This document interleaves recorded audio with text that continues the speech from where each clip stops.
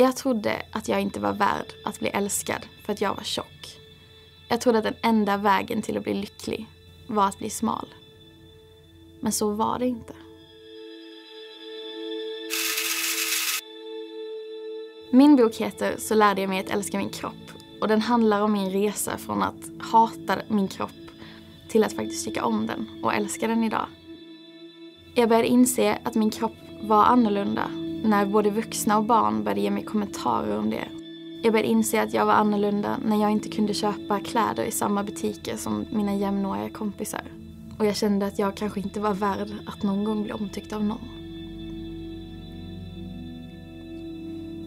Och det har varit liksom en, en lång kamp att vända det. Men till slut, efter så många års självhat, så började jag känna att jag inte bara var ledsen längre utan att jag var arg och frustrerad och besviken över att inte alltid skulle vara så här.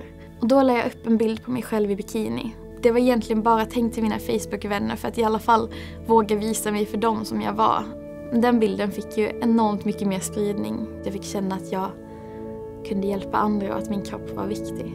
Och det var så fint att läsa allt från liksom tioåriga tjejer som, som skrev att de inte vågade vara med på simlektionerna i skolan för att de inte ville visa hur de såg ut. Eller 75-åriga kvinnor som inte har varit på stranden på 50 år men som nu skulle försöka gå dit dagen på för att de hade sett mig i bikini. Och där började nog jag se på min kropp på ett annat sätt än vad jag hittills hade gjort.